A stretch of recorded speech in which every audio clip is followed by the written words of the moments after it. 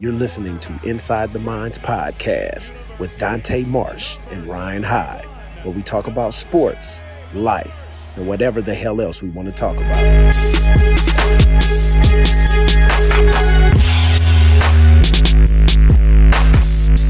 31-yard penalty to support interference call against the Lions this year.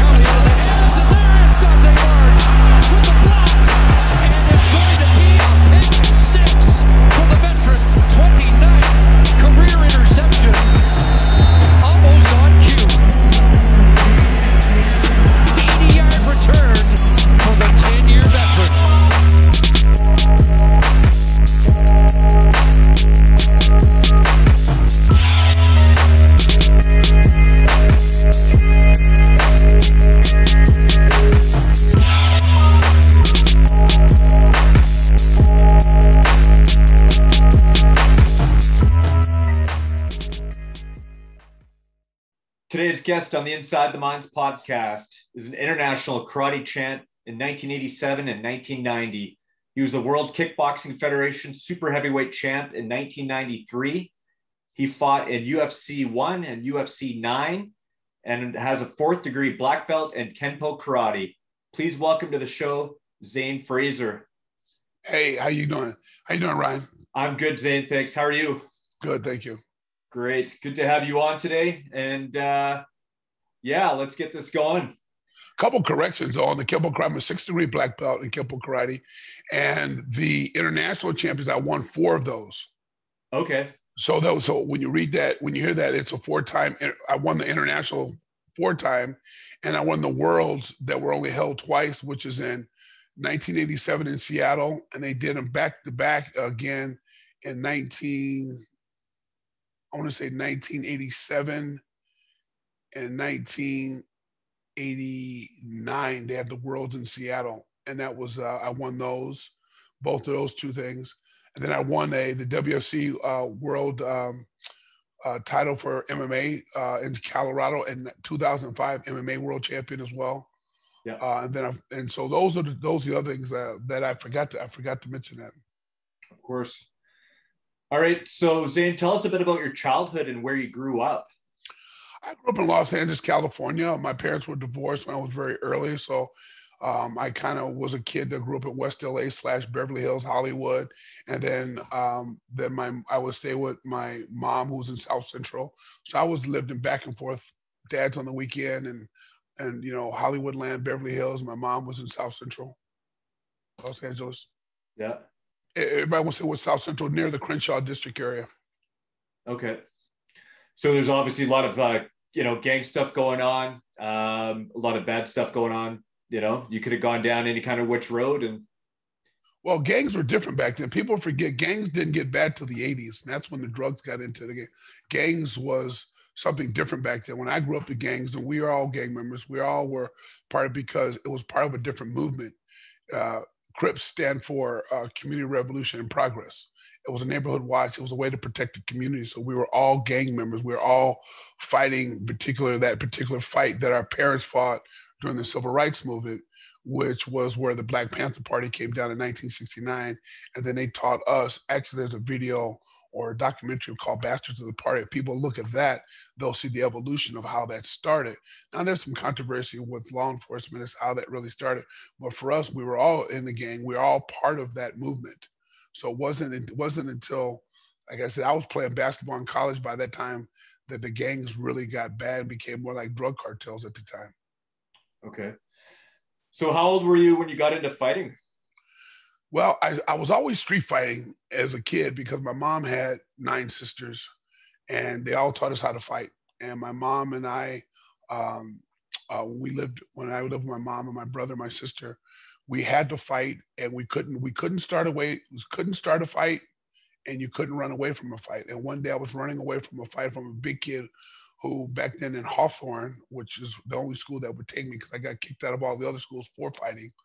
Um, my mom caught me running from this big kid, uh, and a big white kid. He was calling, chasing me, calling me in word. And my mom just happened to catch me running from the fight. And so, long story short, Uh, she went and got an extension cord and then went down to the parents uh, of, the, of the kid I was running from and knocked on his door made us fight in the, made us fight in the front yard. And my mom told me if I take one step back, she was every time I took a step back, she'd beat me with the extension cord. And that's just how that was done back then. So you don't run from fights. So fighting, I'd always been doing. Organized karate came later because when I got when you get caught outside of your neighborhood or you got caught out something and some kids want to jump on you because that's what you part of one street, then it's now fighting multiple fighters. So my mom took me to a Bruce Lee movie. Um, it was Chinese Connection. It was in, I was, let me see, that came out in 72. So that was, I had to be 10. And then my mom thought that if I could fight, if I could learn martial arts, I can fight more than one guy because I could fight one person. That was easy, pretty much. But fighting multiple guys, that's what she thought martial arts could help me fight multiple people. So that's when my organized karate started. Was in 1972, and I trained with my cousin Bob Owens, who was part of the Magnificent Seven, that include the five founders of the of, of the BKF, the Black Karate Federation: Steve Sanders, uh, uh, Ron Chappell, Donnie Williams, Cliff Stewart, Jerry Smith. Um, uh, my cousin was uh, Ron Chappell. My cousin was uh, Bob Owens and Big Willie Smith. That's called the Magnificent Seven. And they used to train in a park in Van Ness. And that's where I started training. And then later on, we moved to Pepperdine University, which was the Pepperdine University that we think of as the one in Malibu. That campus was originally in South Central on Manchester and Vermont. That's where we started to take karate at the, and that's where my organized karate training came from.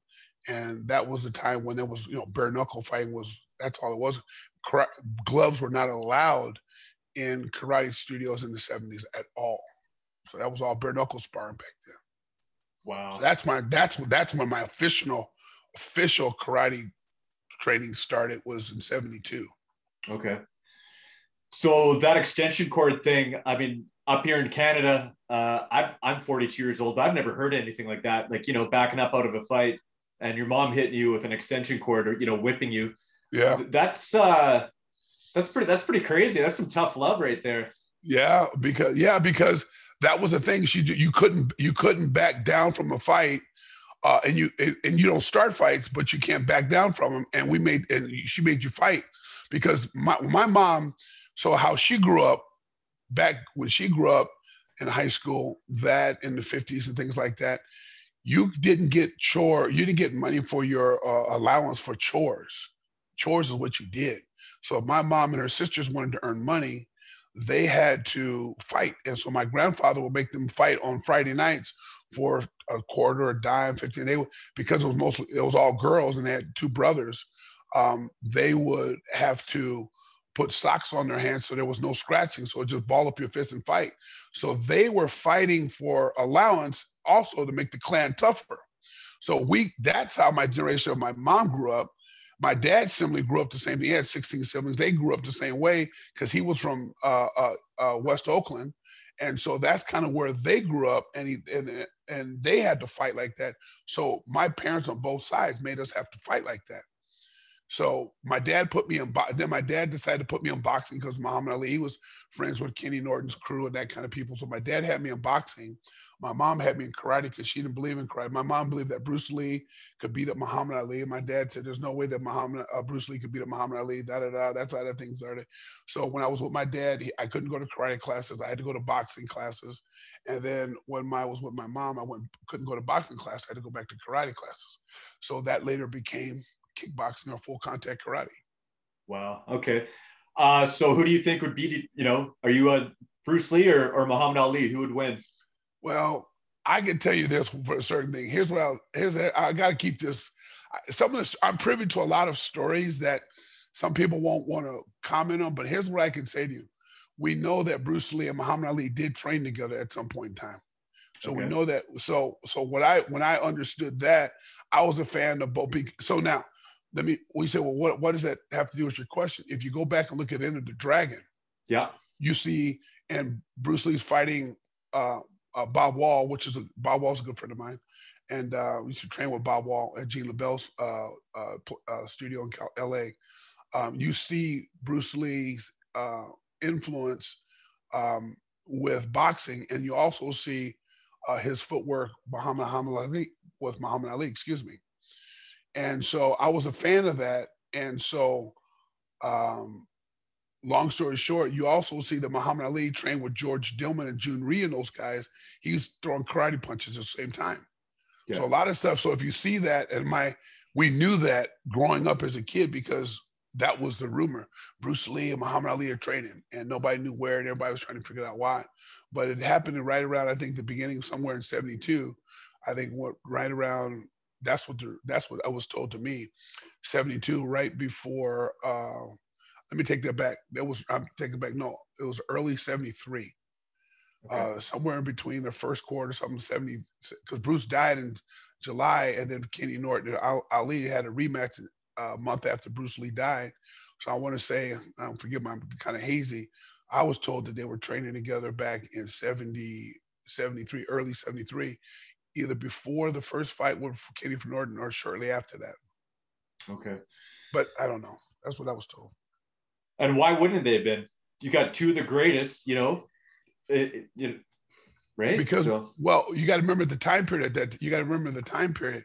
At that time, you have to keep in mind that martial arts was thought to be inferior to boxing. Okay. So the fact that Bruce Lee would train to Muhammad Ali would make Muhammad Ali subject to martial arts. And remember, Bruce, if Bruce Lee doesn't pass away in July 20th of 1973, Enter the Dragon might not be a big hit as it is today. still a great movie. But what made that so so uh, uh, over the top is everybody thought Bruce Lee it was a publicity stunt, and he was going to show up at uh, at the at the movie theater in Hollywood and do do a martial arts demo, and that Bruce Lee was be alive again. Yeah, remember he died in he died in what August? Uh, let me see, he died in July twentieth. To 73. So Bruce Lee, so the movie came out, I believe, August 5th, 1973, about two weeks later, two and a half weeks later. So that's kind of why it blew up like it did. And then when it blew up like that, then and we see we're talking about it some you know 40 50 years later you know it's because of the fact that those guys you know those guys are now icons and or icons and idols and things like that. Yeah. Yeah. So you were recruited to play college basketball at the university of idaho in moscow and later tried out for the new jersey nets. What made you pick martial arts over basketball? Well i always i had i was i was reminded of this by my father and i didn't agree with him and he says you're not um, uh, he always thought that I was a basketball player who was fighting martial arts. My mother used to tell me that I was a fighter playing basketball, and I didn't know who to believe.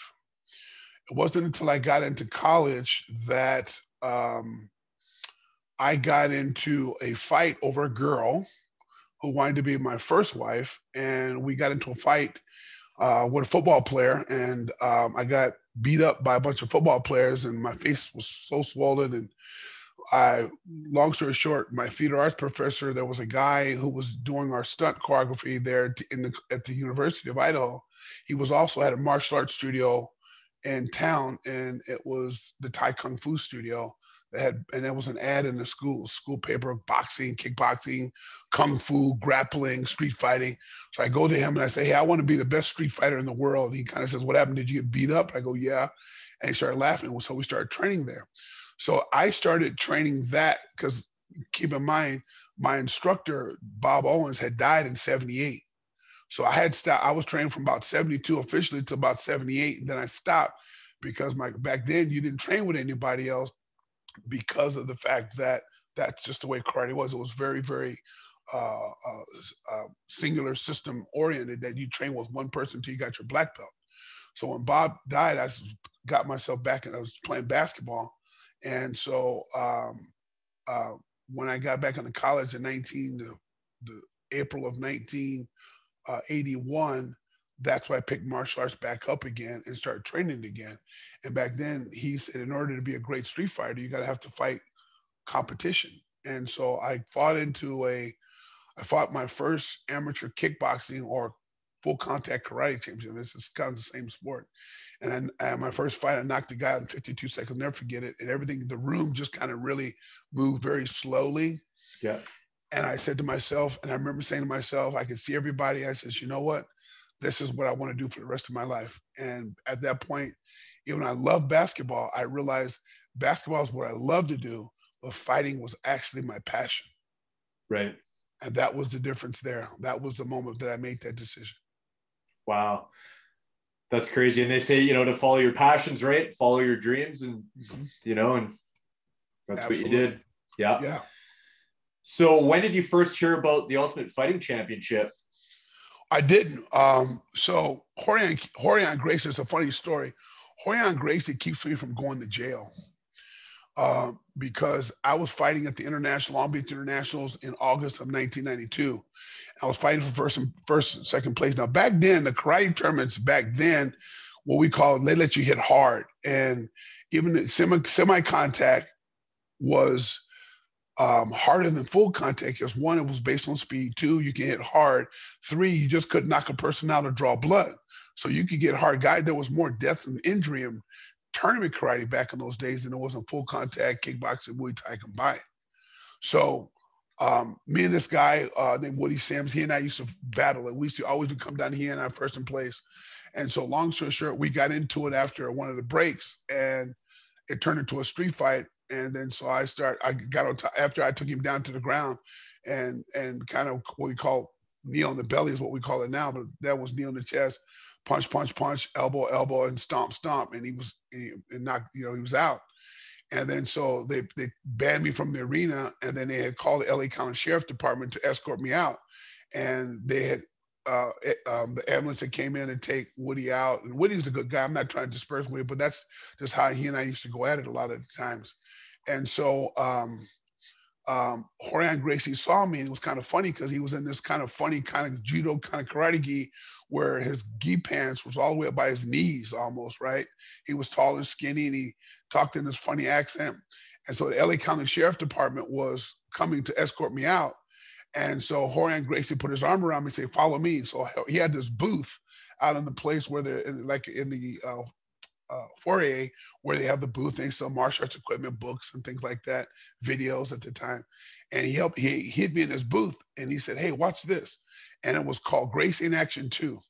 And I was watching that video, and the, the deputies, there was another fight that broke out in the tournament, so they forgot about me.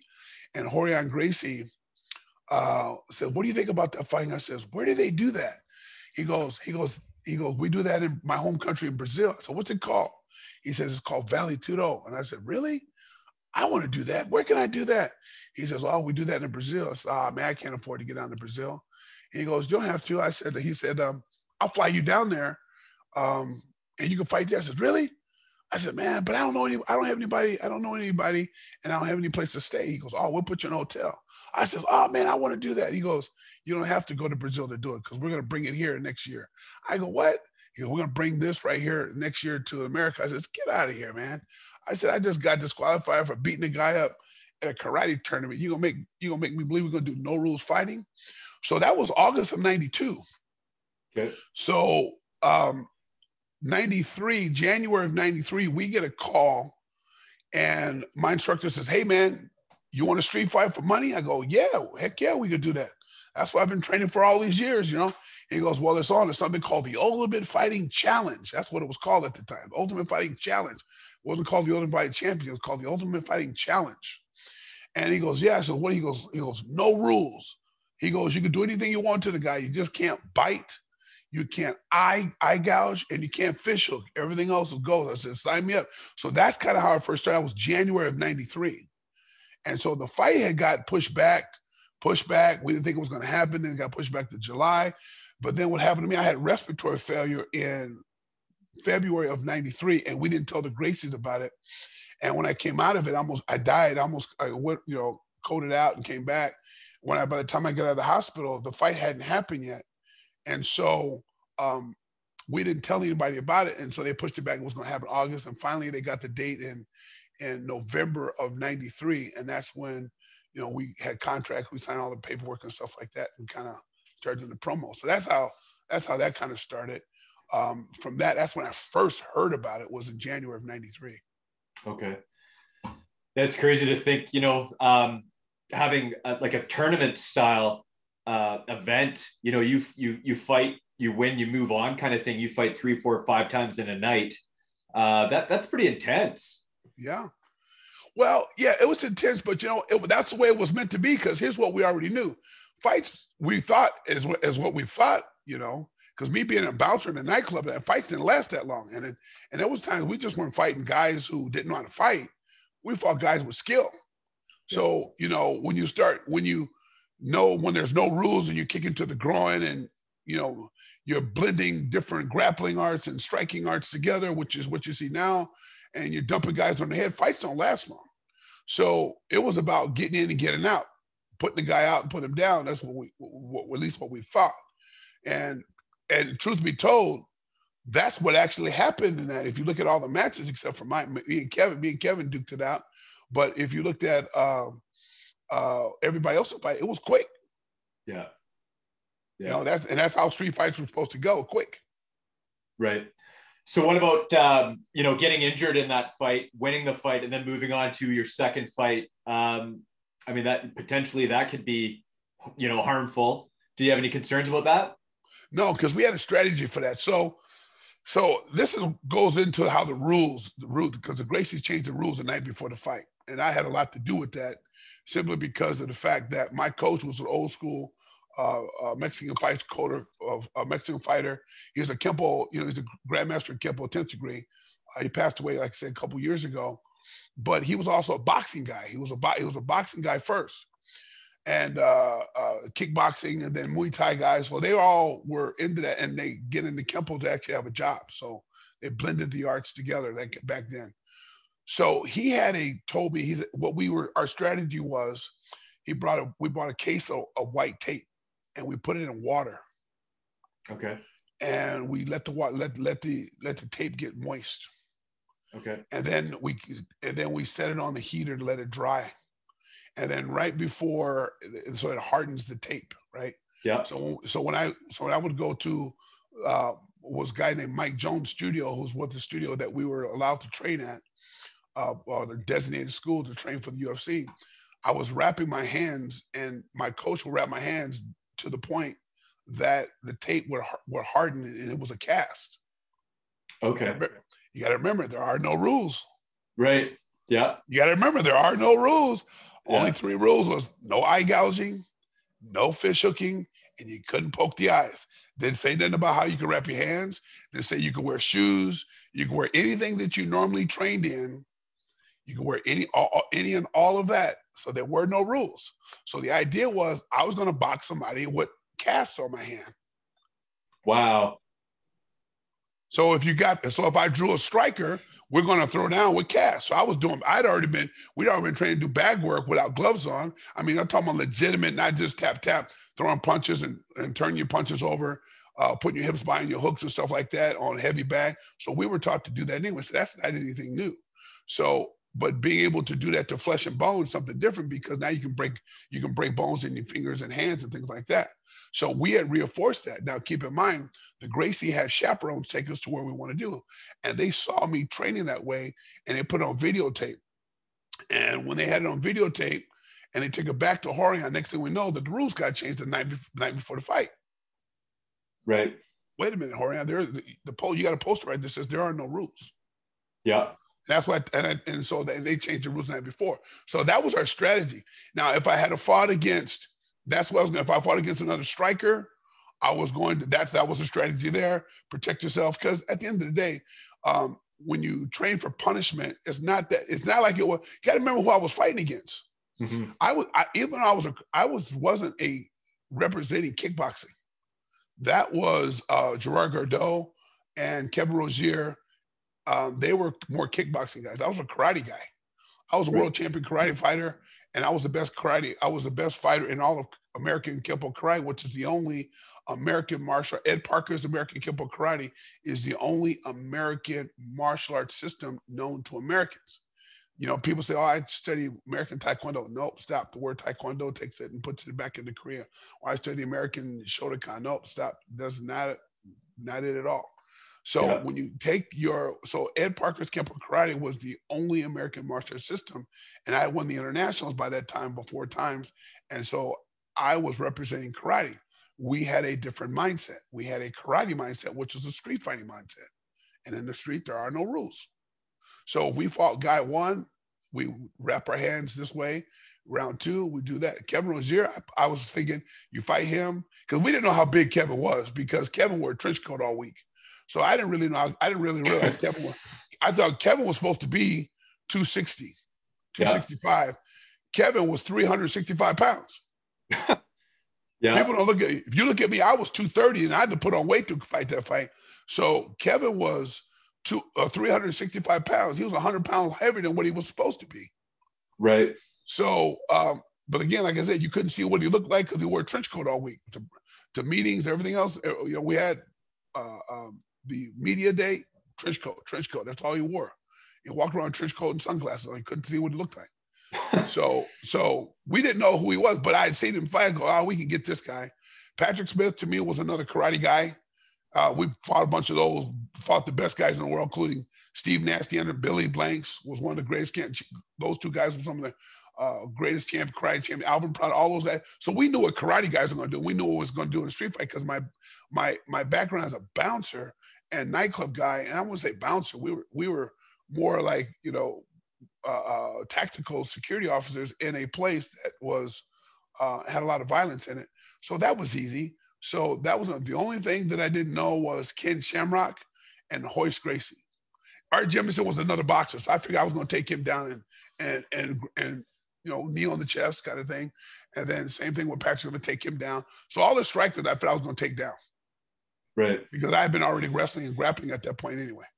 The yeah. the two mysteries were the two mysteries was Ken Shamrock and Royce. and I already knew how the Gracies fight. You had to take them down first. You cannot let them take you down. Um, you cannot let them take you down. And then again, um, there's a slick little move I learned out of a movie called uh, They Live with Roddy Roddy Piper and Keith David in it. They have this alley scene that they fight. Well, I did this to a judo guy back in 1989. We got into a fight in uh, in a dojo because back then we had some dojo wars. Tried to put me what's called a guard now and try to armbar me and choke me. But I used his gi pants, put his knee open, and then I just brought my knee up and struck the groin, pop, pop, pop, pop, and then then climb on top of him, beat him up, and then got him what's called you know guillotine choke or what we call a, a rear naked choke now. Yep. So that's how you that's how you fight grapplers. So that's why I said I'm gonna take Royce down, pin him down, knee him in the groin because groin was groin was supposed to be a legal target. But again, Rorion Gracie took that out the night before the fight. Can't no groin shots because he watched me train that with other uh, uh, judo fighters at Mike Jones's studio. So he saw me training like that. he go, nah, that guy, no, that that this guy is. And Rorion Gracie, we got people forget. People forget. Rorion Gracie was the one who chose me for UFC one. He Art Davie chose everybody else, but Rorion chose me for UFC one. So he knew what I was. He knew what I could do as a fighter. He knew I could okay. fight. Yeah.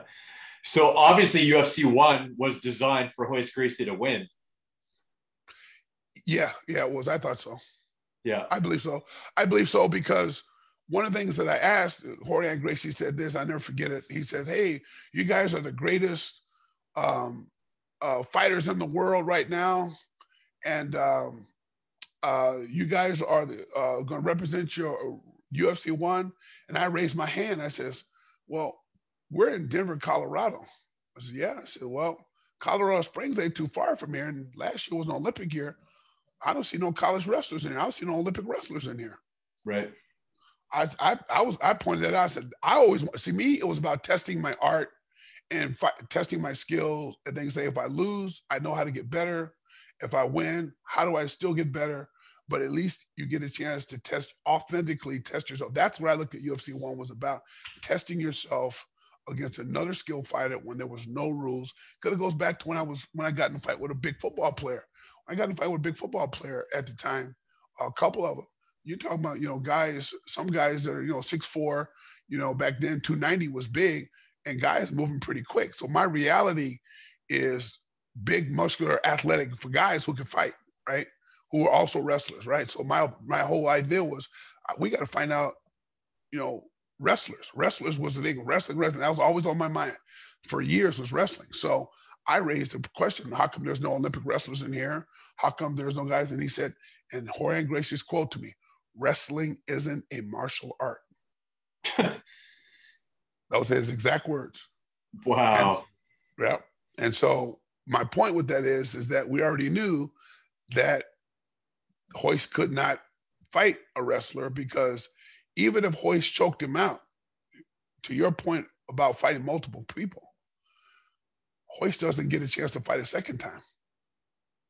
Right. Maybe Ken, maybe Ken Shamrock, maybe somebody else wins it. Maybe I win it, maybe I don't. Somebody else wins it. But for certain, Hoist doesn't win it. Right.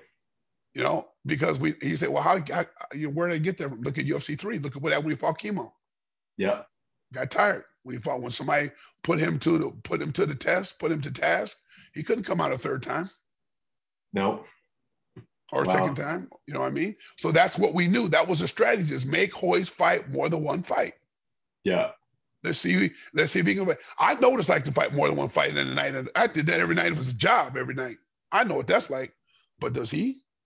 And so, come to find out, they did know how to do that. And they we Royce.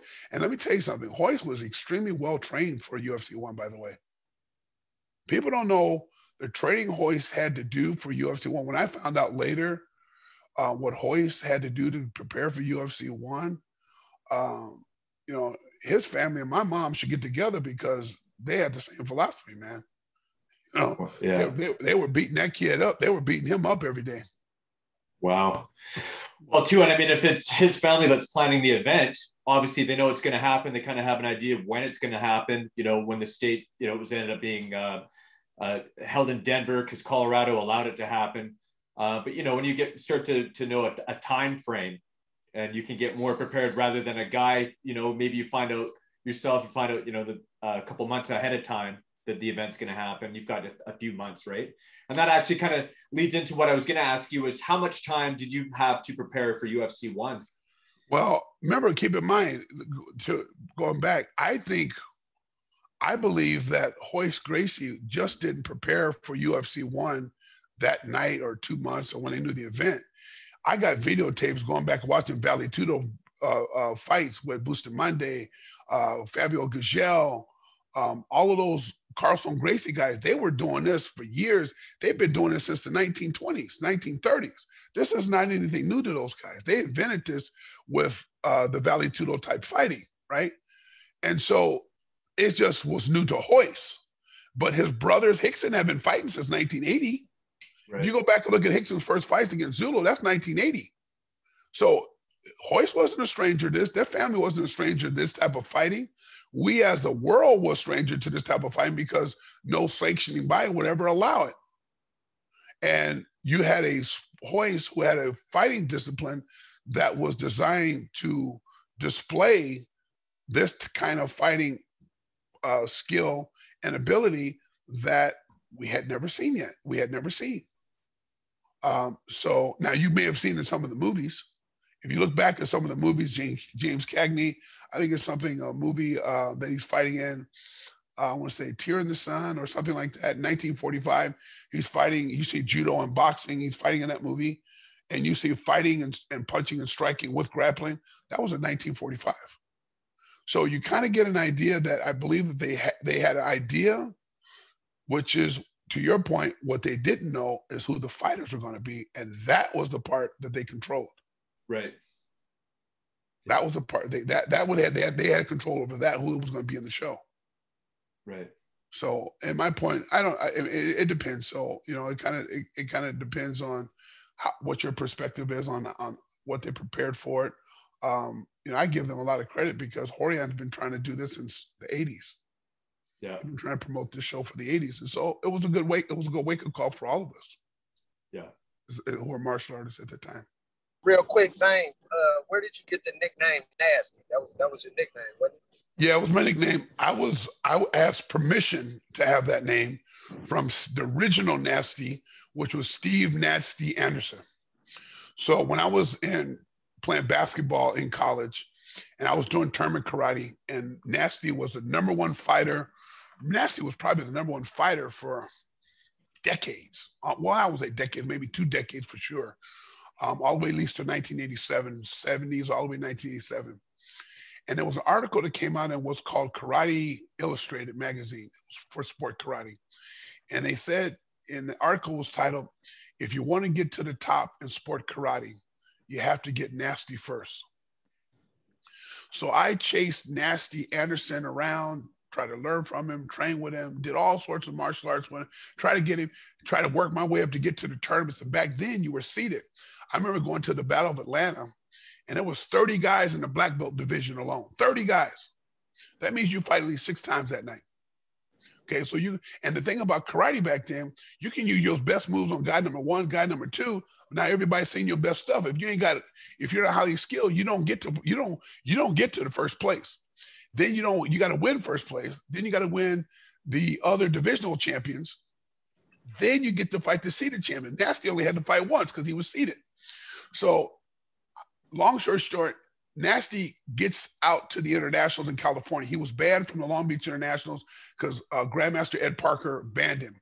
But this was the year that the Budweiser team had came out, and it was going to a big event. It was on national TV, um, 1987. So Nasty and I got a chance to fight, and uh, I was fighting in one of the amateur divisions, and I was using that as a warm up. I won the championship there, and that was called the Pro Am division, which is where all the money was, which is where Nasty was.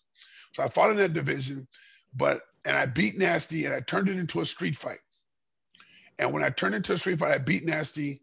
Uh, and, and that was the, my goal is to beat Nasty. You know, if you want to get to the top, you got to beat Nasty. So I asked Nasty, and we fought again in New York City, Madison Square Garden, uh, a team competition. And then Nasty was retired. And I called Steve on the phone. I think Steve lived in Canada at the time. And I asked him permission because he had legally changed his name to Nasty Anderson. And if you use that name in sport karate, he does have the right to, to, to seek legal action. So I said, Steve, I said, I always loved the name Nasty. And I told him the story about how I chased him for so long. He was honored about that. He said, I said, could I use the name Nasty? And he goes, you absolutely do. You can take the name Nasty because you beat Nasty. And so that was kind of the thing. And like I said, it wasn't just a, a it was a street fight where punches, knees, and elbows, ground and pound, all that shit. And we were fighting so bad that one of uh, Ron Chappell, senior grandmaster Ron Chappell, disqualified me, and Ed Parker had said let them fight because that's the number one guy in the world was nasty. So it was our Kempo guys versus the Budweiser guys, and I was the best fighter at Kempo. I was just coming up at the time, and so that's how I started to make my name. Was I beat Nasty that night, and it was a packed crowd. It was a huge tournament that year that day, and everybody saw that whole fight, and that's kind of where it started from there.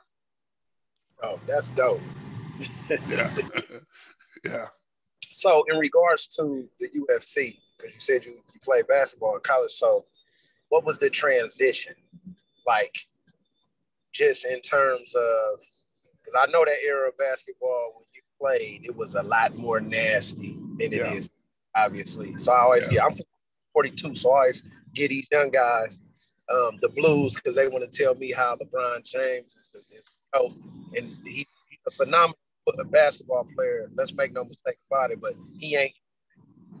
Right. You, you ain't getting hand checked, bro. you ain't getting hand checked. You ain't getting hand checked. You hey, know. Hey, hey, that, that's what I told him. I said my, my, my OG from uh from my hometown, Gary Payton, hand check you boy the glove and getting your shit. Yeah. Yeah, I think LeBron James would have, because of his strength and size and ability, I think LeBron James himself would have made the transition because it was just a matter of being able to adjust because adjust to the physicality, he would have been able to do that because of the fact that he's physical already. It was just been to be able a small adjustment. But the transition for me, karate back then, everything was full contact.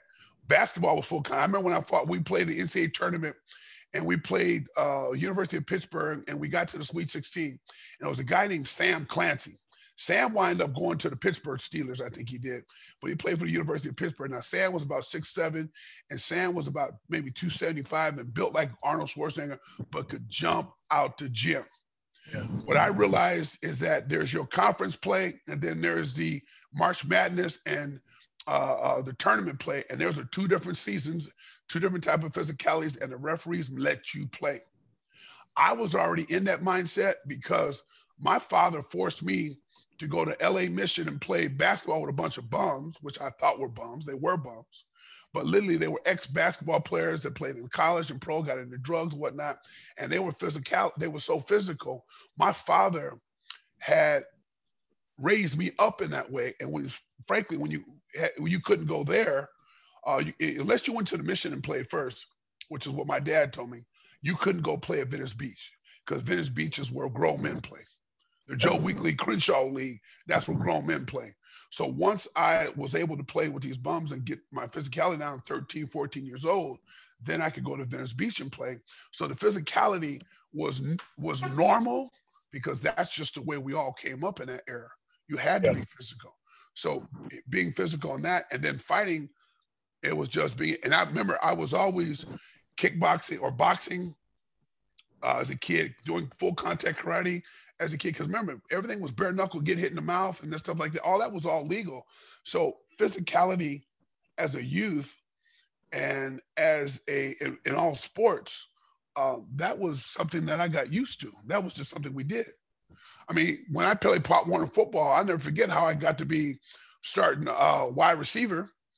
Uh, coach had to sprint all the way down to the field, and uh, he says, "Okay, I'm gonna throw the ball up. Whoever catch it runs back."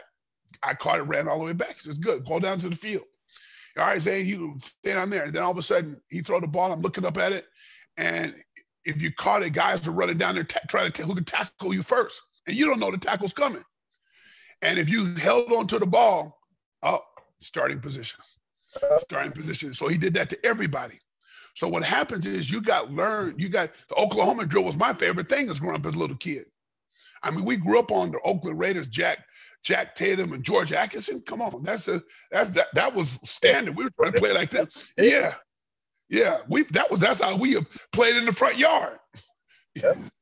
so that's so contact was and, and, and physicality was normal for me. Yeah, I, I, I, was having a conversation the other day with some guys, and I said, uh, matter of fact, I did a podcast yesterday with some of my former teammates. Uh, the the question was posed: What do you think is is is a little different with this era? Because I coach junior college football, and I and I train and mentor young athletes. And I said, I think the difference is we just have and he is just real soft with the with the um, participation trophy mentality, and know, the standard and the expectation so set so low now that I don't, uh, you know, participation across the country has dropped significantly in regards to all sports because, you know, back when we in the newspaper, our athlete something to brag about. Now they don't care about it. Well, two things I think happened in that generation, which was responsible. One, my generation was responsible for the participation, and here's why. And I was telling Ryan this when I got into ran from a kid, white kid who was calling me the N word at school. My, I finally went to Hawthorne, uh, school in Hawthorne, and um, because all the other schools kicked me out for fighting. Because back then, if you punched a kid, you got suspended. But if you kicked a kid, you got expelled. So because I knew karate, I was punching, I was doing my Jim Kelly back fist, reverse punch, side kick, kicking people in the face. They, they you got kicked out of the school district for that. You can't kick nobody in school back then in the 70s. That was that was considered violent if you kick in the school. That means you were some kind of disabled kid or something like that, right? You had some mental disorders, what they said. So school finally took me, and long story short, this white we were only, but I was only one or two families that lived on the block, and I was only one of two kids. There were black kids in the whole school. Running home, my mom catches me running home from a fight comes happens to come out the time I'm running. I'm, I'm like five steps from the door. I get in, she won't know, she won't nothing the wiser. And this kid, he's bigger than me. My mom happens to come out and catch him. Goes in the house, gets her extension cord, comes down to the kid's house, knock on the door, says, Your son is chasing my son.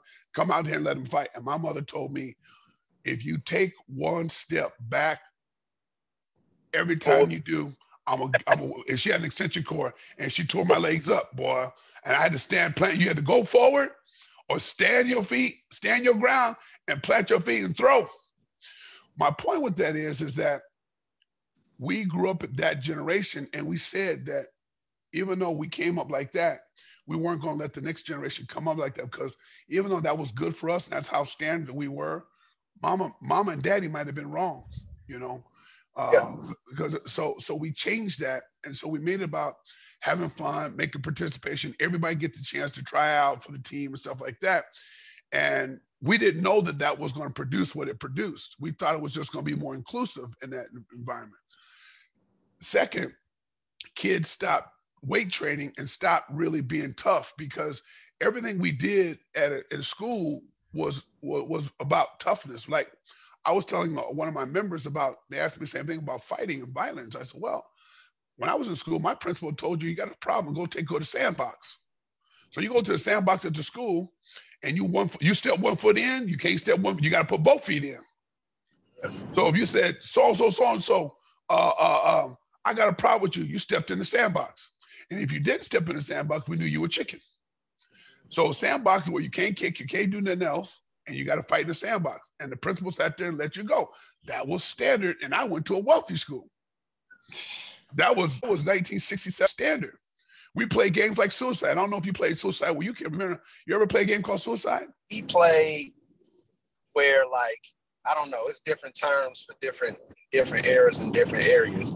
So like I guess I think I know what you're talking about. Like throw it up tackle. We had a get that's basically suicide. We'll have like 10, 15, 20 dudes, and it's one ball, one Yep. football, uh, tennis ball, whatever we could use, and throw it up tackle. So one guy, we throw the ball up, somebody catch it, and then he got to score. But it's one one dude against everybody.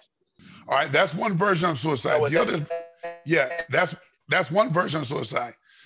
The suicide we played was we were in a racquetball court, and you either had one of those little balls you get out of a gumball machine, Okay.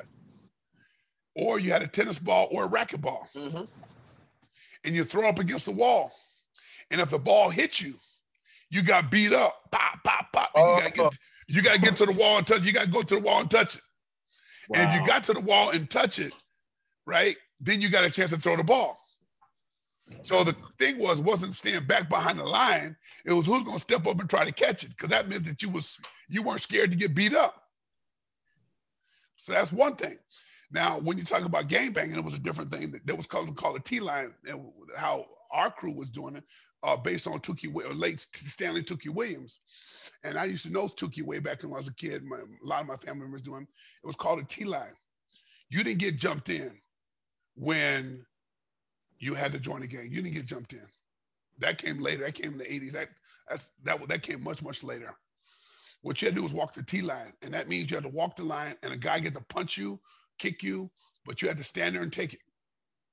And you couldn't let your back hit the ground. That was called getting your back dirty. If you got your back dirty, had to start all over again. You only got three tries. And then once you walk the T line, which is the linear line, then you had to walk it from left to right because left was East Coast, because West Coast, and right to East Coast because that's where the other other side Crips come from. So Stanley was from the the West Side, uh, L.A. So you walked it from left to right because by that time Raymond Washington would already have been killed already. So by that time, he was the other founder, him and a guy named uh, Jamel. I forget Jill's last name, but Jamel, Tookie, and Raymond Washington all started the Crips together. So that's kind of how you got jumped in, and you had to walk from left to right, and the le- and the left to right guys were the toughest guys, and you had to take a shot in the face, and you had to walk across, and and you you you basically uh, uh, bit your mouth down so you couldn't get your teeth, uh, get your teeth knocked out. But if you got your tooth knocked out, that was it. You got hit on the chin, and you went to sleep. You still wake, started up and started again. So that's how we that's how we grew up. So, and the reason for that was if somebody say, "Hey, what's up, cuz?" you say, "What's up, cuz?" but they happen to be a blood, then they fired on you on Friday night. You got to be able to fire back. Yeah. So that's how that all got started. So you got to be able to fire back. So when we talk about violence and fighting, man, that was a game we played every day. We, we played those games every day. So that's just BB Britches. You remember BB Britches? Yep. That's Well, how we play. But see, and I and I get that, and I identify with that. Being from Northern California, we didn't gang bang. We we had turf. So you know, similar format, but just you know, it wasn't about no colors. Um, Well, So that's I- what I told. That's what I told Ryan. That's what I told Ryan turning around. But that's what I told Ryan earlier, is that the gangs in the 80s, in the 70s were different than the gangs in the 80s. By the time the crack got into the neighborhood, that's a different, that's a different genre of gangs. Ours was about turf like it was in the early days because you gotta keep in mind, I tell people all the time, there's this movie out or documentary that Bones those guy, Cleve Bonham guys made called Bastards of the Party. You got to check that out because it shows you that my parents, my dad was from West Oakland. He lived in Harbor Hole. He lived in Harbor Homes. So okay, yeah, so my dad was from and my my family from Harbor Homes up in West Oakland. So what happened is Huey P. Newton, all them guys were running they were little kids, and my dad and his crew was running everything. So a lot of the the Black Panther stuff came to when it came to LA. That's how they taught us to have to fight the system was to take care of our neighborhood. And Right. CRIP meant community. My mom taught me commitment. CRIP meant community revolution in progress. That's what it stood for. So that's what we were. We're neighborhood watch. We weren't gonna let anybody come in and steal Mrs. Jones' car. You know, somebody from another neighborhood coming in robbing and stealing stuff like that. No, we weren't gonna do that. We weren't gonna let you do that. So we protected our neighborhood just like you guys did up in that's that's where it comes from up in the the turf situation because it was um it was a it was a Northern California concept really uh from the Black Panther Party. Right, right, right, right. Okay, okay. That's that's that's that's deep right there. Yeah. So you, so you got roots, and I and I, I explain to people that's not that aren't from California too. Like, man, y'all don't understand. It's like five, four, four or five different states in this one state. That's how big it is. Yeah. So it's just so different. But yeah, you know, growing up in the um, me and Ryan touched on this before too. We talked about um, me personally. I, I figured out because my, my my BA is sociology and then I got my master's in strength and conditioning, right? So I, I was thinking one day, I was like, yo, a lot of a lot of us that's from the inner city, we got PTSD. Yeah. We seeing stuff as a kid that no kid should ever see or hear and we normalize it because that's what's going on in the neighborhood. And then by the time we 25, 30, 35, 40 years old, something happens and then we we finally figure it out like, yo, like you said earlier, maybe I was wrong, uh, raised wrong. Our Yeah. parents don't know better. They didn't know no better. That's why the, that's why UFC one was normal to me. Yeah. UFC one was normal. Everybody keeps thinking there's some grander. To me, it was normal. It was just that's how we always fought. All the karate studios, we always fought. I mean, there were literally dojo wars where in in the, in the early 80s, late 80s, every karate studio you go to had their own fight night. They had their own fight night. If I wanted to go spar and fight with other studios, and they, uh, we ain't talking sparring, we're talking straight out fighting with gloves on and stuff like that. And I wanted to go. There was a place you go on Monday night. It was Big John Robinson's on Monday night. Um, then you go to the BKF on Tuesday night. Then you go uh, Wednesday night was Steve Fisher. Thursday night was back at Sherman Oaks Karate. Friday was the Kaja Kempo. Saturday was and morning was Benny the Jet. Your Sensei Benny the Jet. Your kids in the studio. We had tournaments on Saturday and Sundays, and then you turn around and do that till on Monday. So fighting was always something we always did from a street perspective. In the late in the early 90s, karate really got commercialized like health club centers, and a lot of that went away, which is why the Gracies were able to come in at the time and be able to say that karate system doesn't work, that karate system doesn't work, that karate system doesn't work. I was watching a video by Karate by Jesse, and Jesse makes this very interesting point, and I agree with him. Um, he said there's three generations of karate. He's right about that. The first version of karate, or martial arts, if you will, was the street fighting self-defense. That really worked in the street. Second was the meditative part, which is your yoga, your stretching, you're getting the character building traits of it. And the third generation was sport karate. If you take martial arts out of any one of those generations, out of context, it doesn't work. For example, if you take the first generation and put it into the third generation, which is the street fighting, you take the street fighting organization, uh, uh, uh, generation, first generation, which, and put it into the third generation with the sport fighting, it doesn't work. If you put the middle generation, which is the meditative part of it, into the first generation, karate doesn't work. And if you take the the uh, third generation and put into the middle generation, it doesn't work because it wasn't meant to be. So I heard Jesse say that, and he's so right about that because I experienced all three of those generations coming up in California. Different studios were training in different generations. So when the Gracies came and brought in UFC, um, UFC one, they picked the generation that they knew was the weakest of the generations, which was the middle generation. That's how they were able to pick their fighters out of that generation. You say, how do we know that? Zane, you Zane, you're talking about this and that. Prove it. Well, here we go. Go back to UFC two, and that's the that's the generation where you see all the kung fu masters, karate master, Pencak Silat, ninjutsu, all them cats come out. After UFC two, they never came back out. There you go, middle Yeah. generation.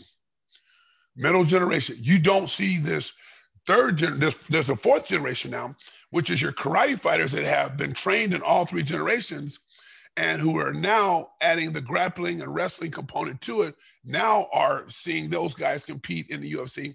That's what it always should have been from the beginning.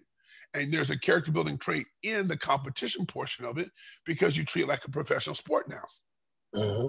So that's kind of where you see it. So that's what the Gracies did where they came in at the right place at the right time to start this event.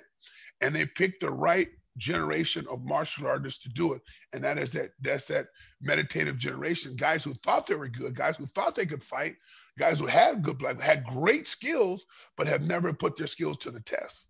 They didn't get into martial arts for that. And when the challenge were, was posed to them by the Gracies, they they all they all didn't they, they weren't successful in that. That's why, because they were they were they they were training out of the wrong generation.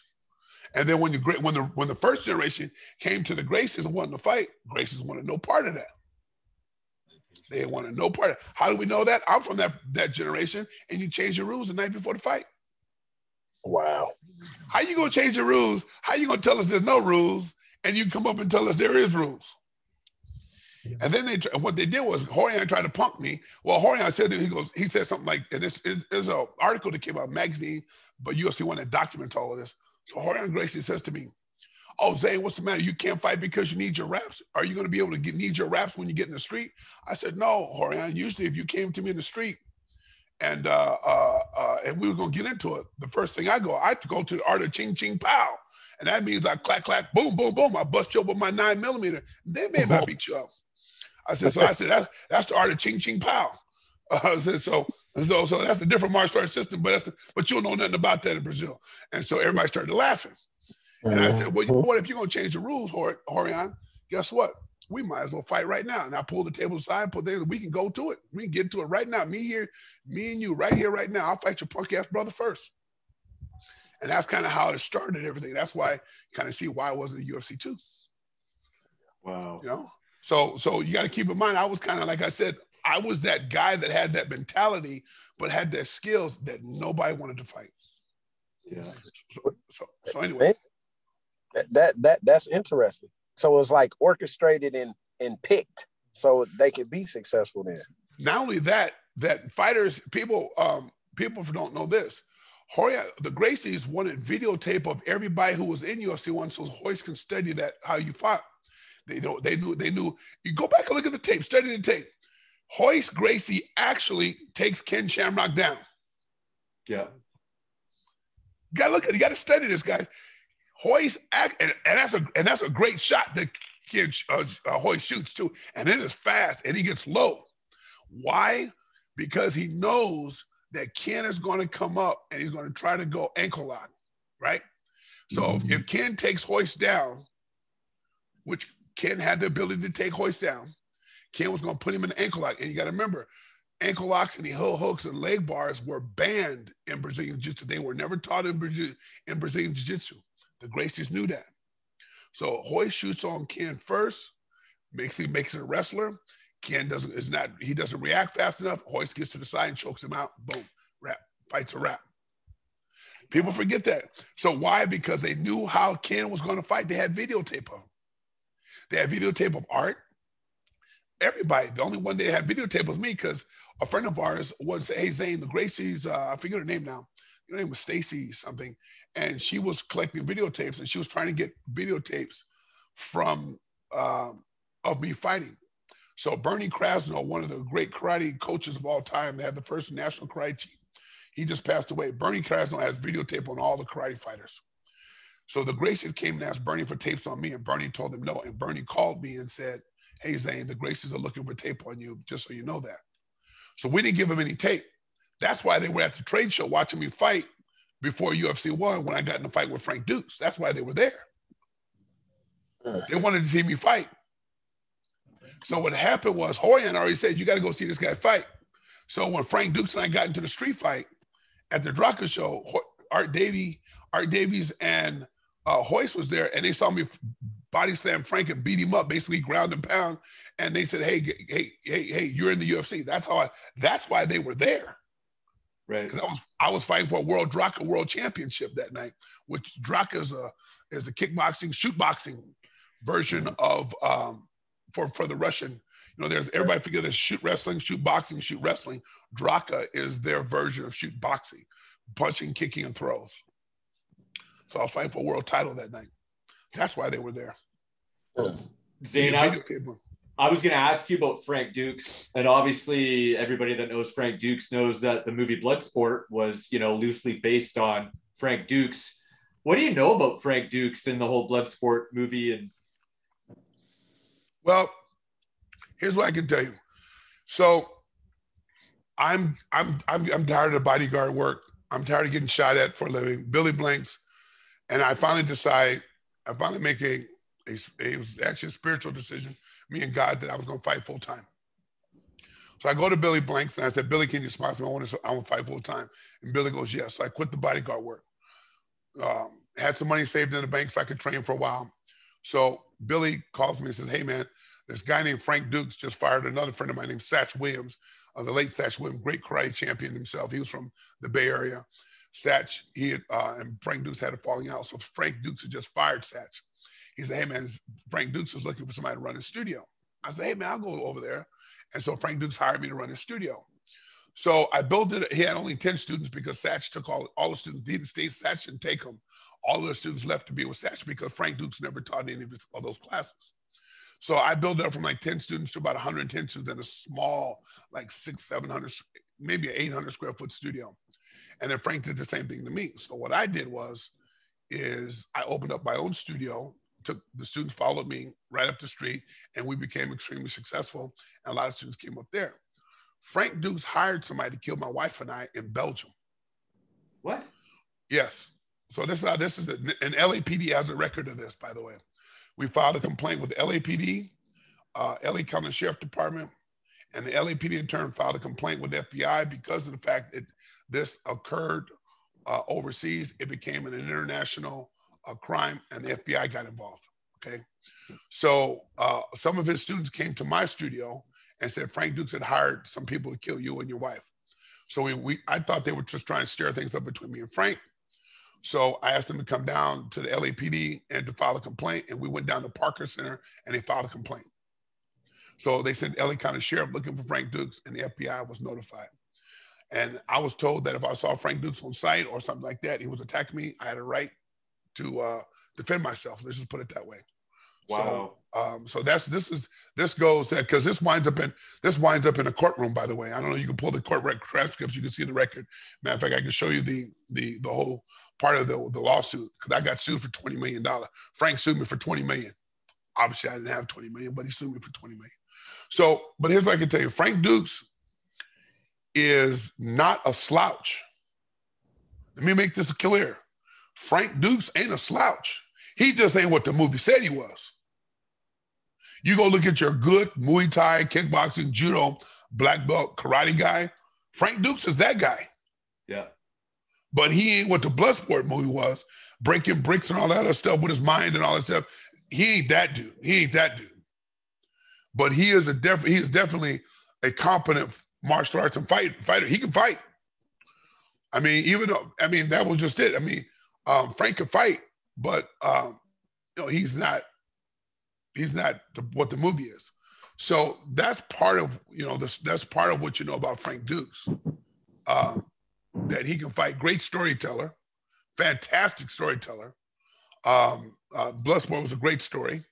Um, he had a couple other movies that were Kickboxer, Tong Po. That was a great story. Uh, there was one other he Yeah. did with Roger Moore. That's those are great stories. So Frank is an is a fantastic storyteller and he's believable. Yeah. But he but but he ain't that guy that the movie said he was. That he's not the guy that Van Damme was. So that's kind of how I tell you about Frank. And so that's kind of how that started uh, with he and I. And so it essentially happened uh, after the session. quick question. Uh huh.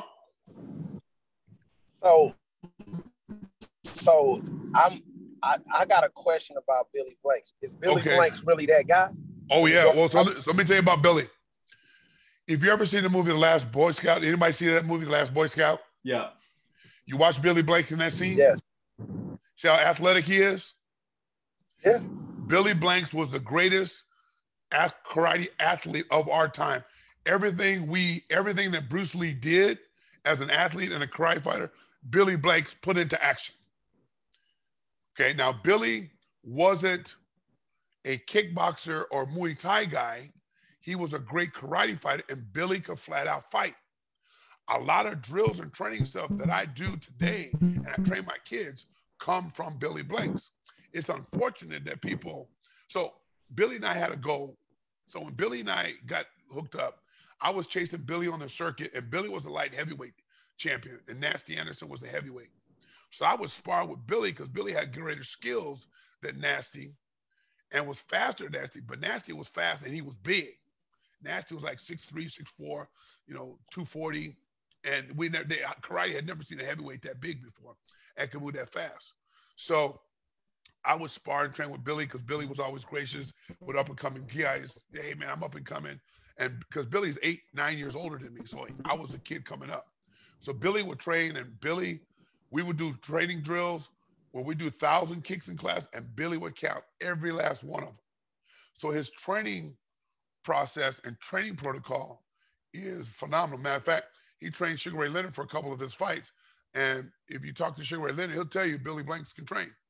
Uh, and he's great. So, but when it came to the contact and the full contact, Billy, that's where Billy didn't get didn't do very well.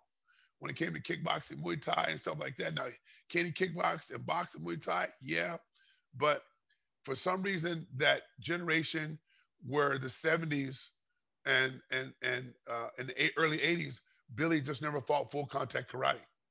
And the reason, and, and, he just didn't, because if you look at the PKA, he fights on a bunch of the cards for karate tournaments, but you never see him fight uh, kickboxing. That's why I say Alvin Prouder from the BKF, the Black Karate Fighters, is the greatest karate fighter of all time. Because Alvin was not only a boxing champion, uh, he was starting his bo- phenomenal boxing career. He was a kickboxing champion, which is low kicks, punches, full contact karate champion, and a world karate champion. And here's what made Alvin special. I, I in those nightclubs, I fought with Alvin side by side in a street fight against multiple guys, strength, Crips, Bloods, whatever might be coming at us. And Alvin fought in the street the same way he fought full contact karate, the way same way he fought kickboxing, the same way he boxed, and the same way he sparred in the dojo. It was exactly the same system. He fought the way, and it was you couldn't tell what he was doing when he was doing it. And so before he was gunshot in 1985, that was when he was at his best. There was nobody better. Billy Blanks and Nasty never made it to full contact or kickboxing. So that's why Billy falls short in that category. He just never did. I know Michael. Michael was Michael, used to come, Michael used to come down to the BKF, good karate guy. He was not, he, he fought in a couple tournaments and things like that. Michael's got a lot of skill. I've loved watching this movie because Mike is slick. Um, uh, he does a lot of good stuff. I, I like to, he represents what it should look like when you do real karate stuff right. You know what I mean? I mean, Mike fight scenes is based on actually being able to fight in martial arts for real. So uh, he used to come down and train. He trained with Leo Greer from the for a while. They used to spar a while. And Mike was good, but you know, he wasn't one of us. He wasn't, he didn't compete at that level. He was a movie guy. And he, I remember meeting Mike and he was going in that direction. I want to say it might be from Ohio. I'm not sure where Michael's from, but we met a couple times uh, in the early 90s. And that's when they were making all those great karate movies, you know. Um, I won't say great, but they're B rated. When I say great, guys were getting paid on them. And Michael said he was going to go in that direction because you got to keep in mind the time that Mike came out, there was no there was no money in fighting. So Mike was making money. Him and Billy started making all the movies. They guys were making money hand over fist in the movies, while the rest of us knuckleheads was trying to be champions and fight and, and become, you know, you know, the you know, world champions and stuff like that. So um, but there was no broke. We could we were always broke. Them guys were them guys were driving BMWs and stuff like that. And we were we were out there, you know, struggling to make ends meet because we had a martial arts studio and we'd do okay, but you weren't making money like Michael and them guys were. So Mike is good. I like Mike.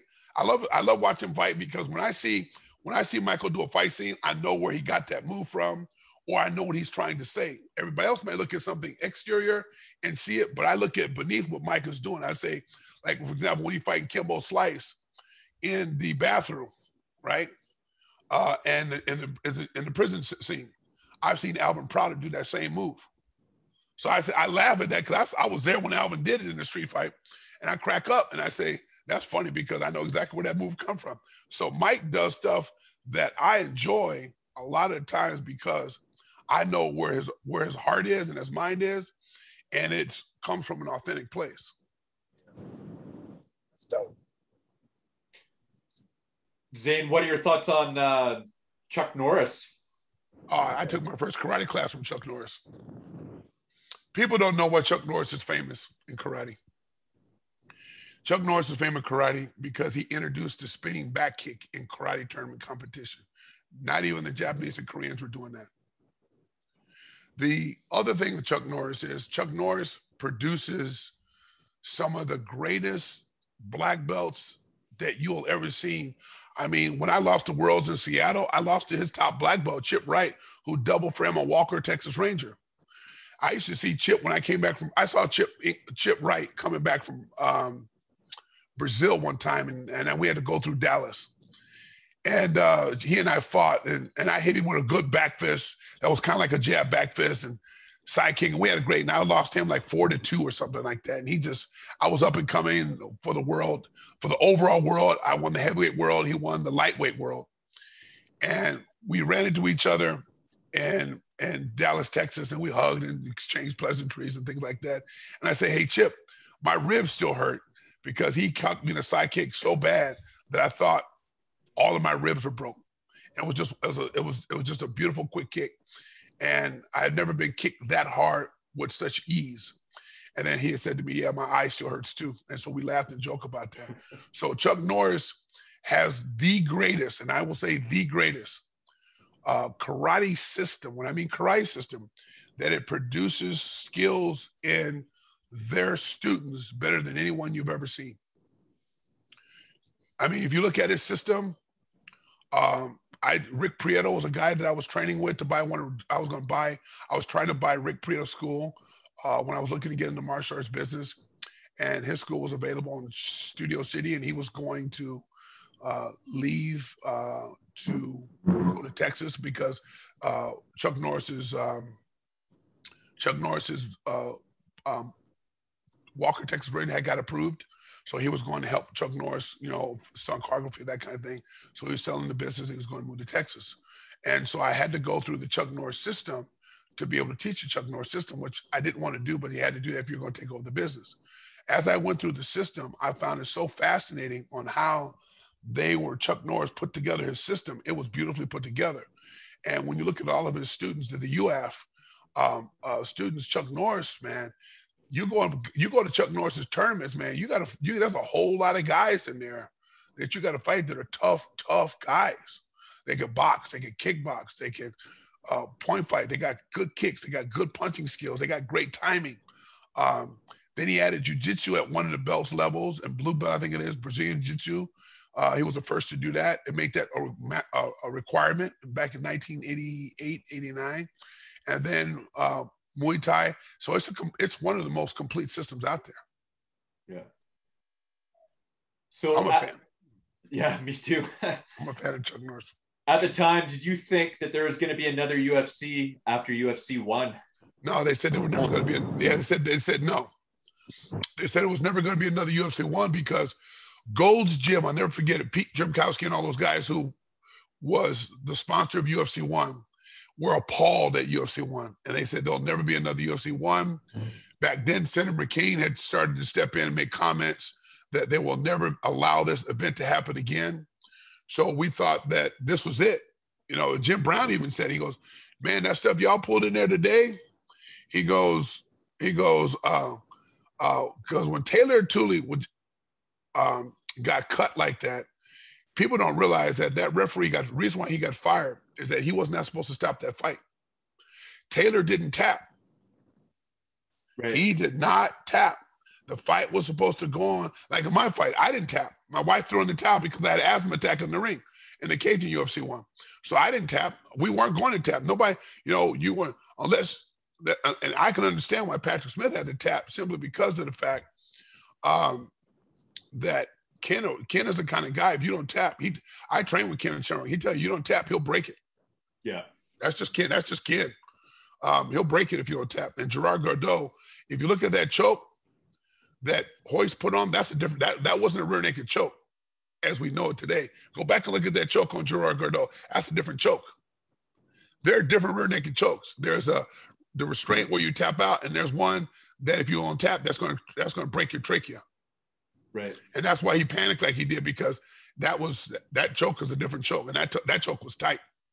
So either that he, you know, you know, so he tapped, but then he bit Royce too. So that's why Royce did that to himself. yeah, he did. Yeah. so yeah. But yeah, yeah. I mean, um, those are those are that we didn't think there was going to be another. We saw, and we all, and yours for the first time, we all for the first time I can remember, and I was a, more of a traditional martial arts kid around the traditional guys. Myself, Ken Shamrock, Royce, even for a little while, Art Jimmerson, um, uh, Patrick Smith, um, Kevin Rosier. We all sat back there, sat back there, sat around the table, and says we got to go train with each other. Yeah. Because remember, it was it was it was uh it was basically discipline versus discipline. That's how that was presented, right? And so we didn't really have permission per se to go train with another discipline. Although Kempo at the time, depending on who you train with, was inclusive. But could I go condition with Ken Shamrock? Could I go? Could, could I go condition? Could I go condition? Uh, could I go condition with um, can I go condition with um, uh, uh, Hoy or do jujitsu with Royce at the time? So um, we all got a chance to realize we got to go train with each other because this we knew in our heart we hoped it evolved, and here's why: for the very first time, we now had a professional sport that was. We hoped that it would get to the NFL or NBA or Major League Baseball or hockey level. We hoped at it because it was time for us to put martial arts on this on a on a um, level that was competitive with other sports. That was my whole reason why I didn't when I, I didn't care about when I fought for my and it was called back then it was called workouts because my dad was friends with Paul Silas, who was a coach of the New Jersey Nets at the time. That's how I got my workouts. And now they call them workouts. Back then it was called tryouts. And I, I fought for world title the night before, and my my my workout or tryout, and then um, and they had some scouts come out and stuff like that for the team. They came, it was West Coast tryout. And so what essentially happened is um, I didn't really care about it that much because I won the title that night and I got a hundred bucks. And my and the league minimum at the time was $163,000. So my dad was telling me, you can get in the NBA, you can do this. I said, I didn't care about that. So I fought for that for, uh, that night before and went to try out with the basketball, and basketball didn't have that kind of appeal anymore. Because I was hoping, man, this has got to blow up. Kickboxing's got to grow, blow up because kickboxing was supposed to. So when the kickboxing didn't blow out and UFC came around, it was our hope that it would blow up and be something bigger so we could finally tell the American public to respect martial arts. Because you got to remember, the American people didn't respect martial arts. Because why the the 90s the, the 80s late 80s and 90s were full of ninja movies. Yeah. Yeah. That, that, was playing that was playing at the movie theater. You got a ninja crawling up a la city wall broad daylight in a black garb killing people. And where's the lapd you mean the lapd oh come on lapd ain't gonna let that happen stop it you know but that's what you told the american public and the american public lost respect in martial arts so then Kickboxer comes out, or excuse me, then um, Bloodsport comes out. Yeah. Then, then next year, a couple years later, then you get Tong Po come out. But now keep in mind, Bloodsport came out in '88. By the time it runs its course, then the UFC comes out. Right. And so you had all these other you had all these other action movies that were B-rated movies, but for the most part, the American public, both from a fitness standpoint and from a a, a, a fitness workout training standpoint or as a uh, uh, respect for self-defense, they didn't respect it. The American public consumer didn't respect martial arts at that time. So it was our hope that if this was to shock people, it made people stand up. We were now going to say, you got to respect martial arts. Yeah. You have to. Yeah. Which it did. Yeah, definitely did. Um, so after UFC one, you returned to uh, the World Kickboxing Federation with a record of 17 and 0. Then you ended up making your debut in the K1 96.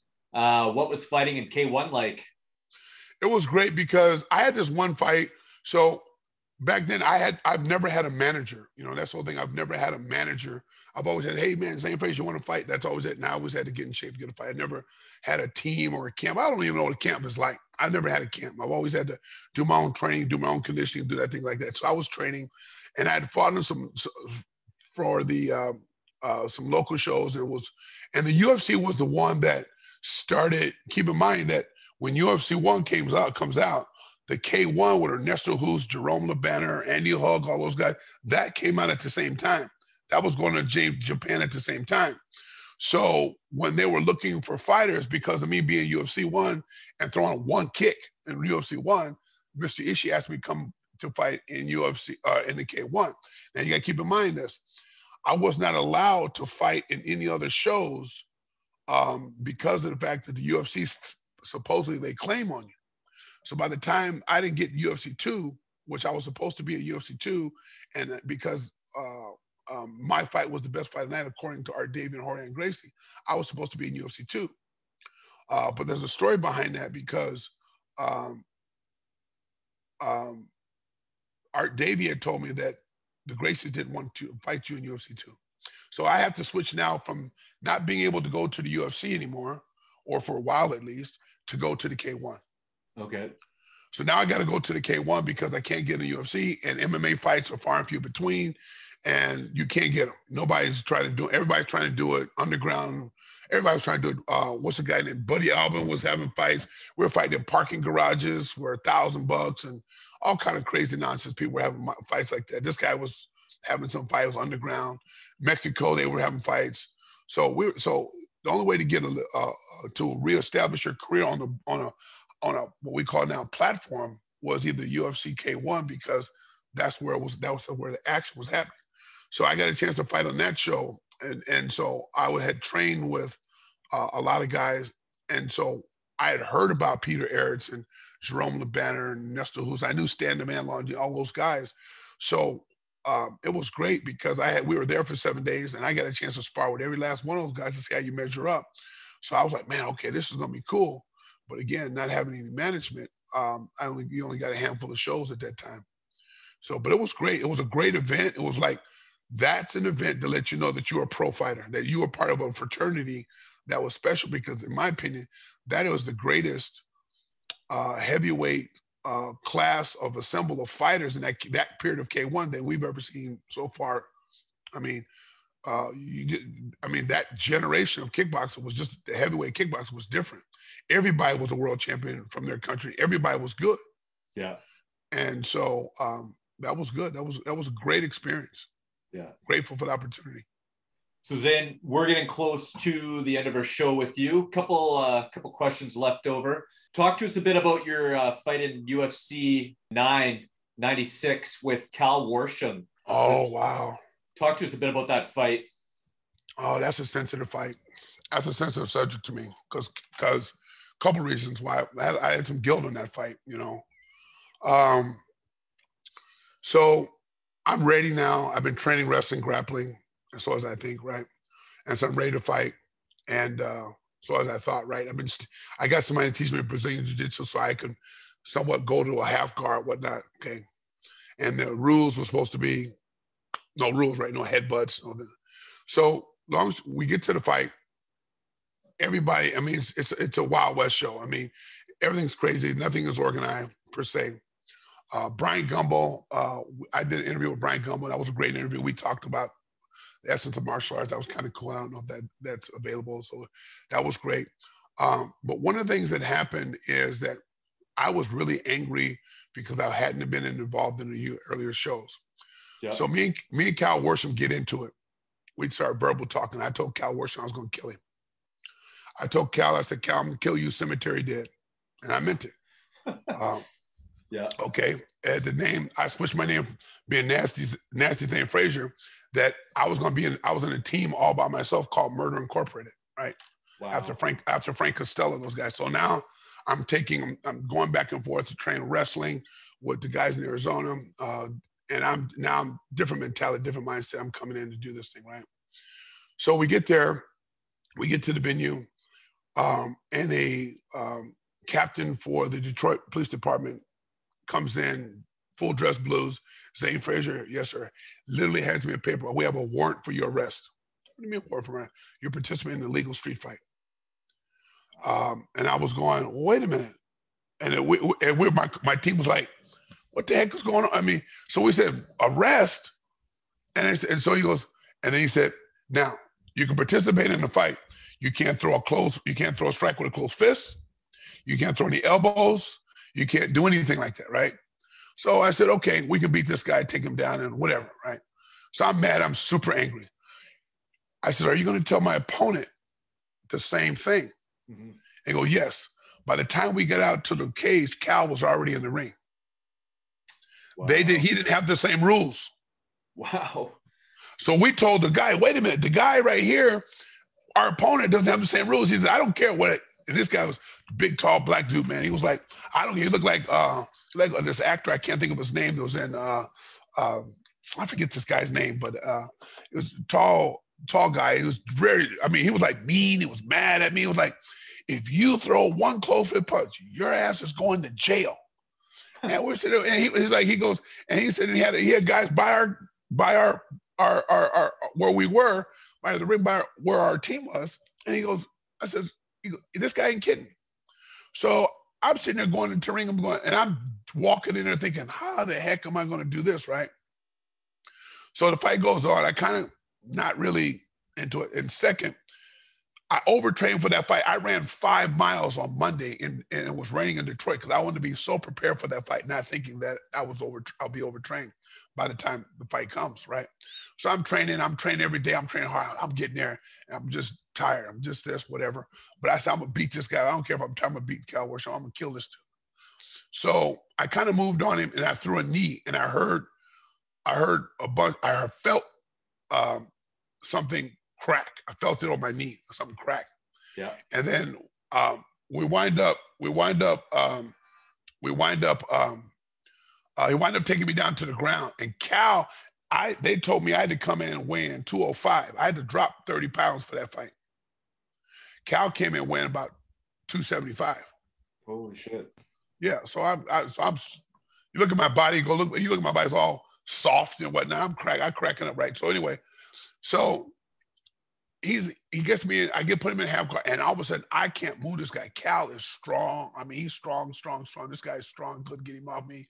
And all of a sudden I'm realizing for the first time this jujitsu stuff don't work. And when it comes to big guys, I'm just thinking it don't work. Can't it can't work. So anyway, uh, or I don't know enough of it. That's probably what it was, more or less than anything else. So Cal starts headbutting me. And I'm telling, I'm looking up John McCarthy. John, there are no headbutts. John, stand us up. I'm telling John to stand us up. Stand us up. John doesn't stand us up. I'm John says, same fight, same fight. I said, John, there ain't no headbutts. And and that. So so long. So, so Cal was just beat. He was just, he was just headbutt me, headbutt me. And I just, you know what? I tapped out and said, I'm, and I, and I was just pissed off. I said, I'm done. I ain't gonna sit and take a whole bunch of punishment over a, a fixed fight. And I said, this, this is, this is ridiculous.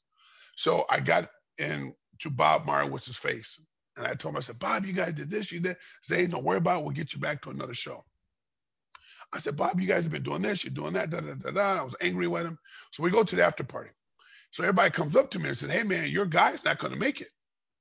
And I says, Well, I don't know why he's not gonna make it to the after party. I'm the one who lost. I'm thinking right then. And they go, No. They go, Cal is not gonna make it. What do you mean? I said, What do you mean he's not gonna make it? He goes, He's in the hospital, man. They say he's dying. I go, What? And they go, He says, He's dying. And I go, yeah, I'm making this up. And then so Bob Meyrowitz and those guys come up to me and say, hey, Zane, in the event that Cal doesn't make it, we cannot have you go on TV telling people you're going to kill him, Yeah. uh, that you tried to kill him. I says, I said, well, what are you guys talking about? He goes, well, in the press conference, you said you're going to kill him cemetery dead. Wow. Uh, guess what? And I said, oh, so, so we don't know. He's on.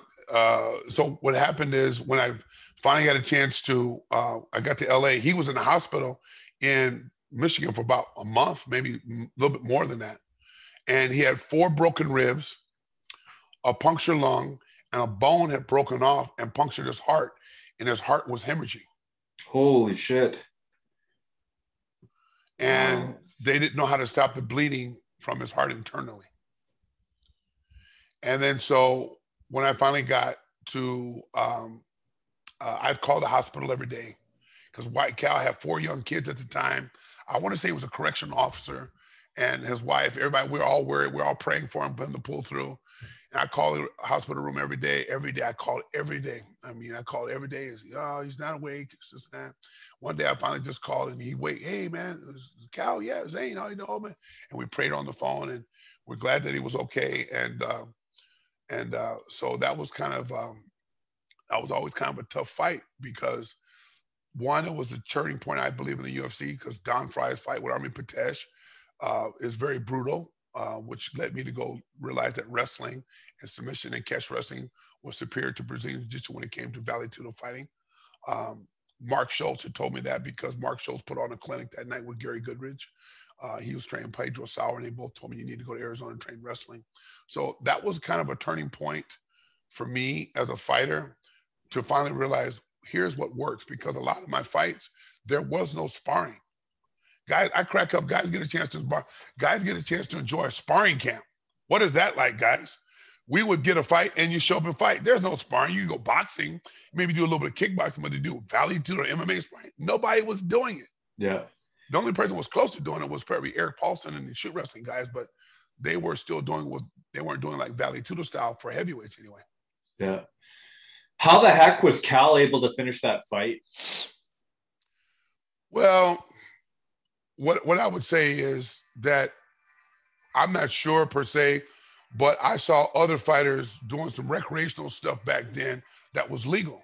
Guys were got guys were taking guys were taking. Uh, now I don't know if Cal was. I can't say that. Now I want to. Uh, I don't want to say that about him, but I'm gonna tell you, we personally saw guys doing a line of um, coke. Uh, guys were doing amphetamines. Guys doing all kind of stuff. Guys were uh, shooting themselves with Nubain, uh, uh, not to feel any pain. Yeah. Guys were taking all kind of stuff, and I'm like, well, shit, maybe I should be taking some stuff, man, because I don't know. Uh, and so for a long time, I believe that uh, a lot of those guys it had to do with their diet and their toughness. But I, Cal was a tough guy anyway. I mean, he he was a real tough dude. Take to take nothing away from him because you know um, he was able to beat me down and hold on. And whatever his body was going through at the time, the adrenaline kicked in, and you know he was able to become uh, uh, victorious over me in that fight. So I I like to think it's Cal's toughness at that point because, um, uh, and I believe so because I now if I recall, um, they said as soon as he got out of the cage he collapsed. That's what happened. Now Yeah. he collapsed. He collapsed right when he right as soon as he came out of the cage he collapsed. Wow. So you know, and and and here's what I would say to to, to, to kind of not sound sacrificial and or, or self righteous. It's a good thing that the world did not see that in the cage, because if it Yeah. doesn't, there's no Dana White, there's no UFC, there's none of that. Be done. So yeah. we're, we're, we were done. We would have given the world the ammunition they would have done. Uh, they needed to close the sport down.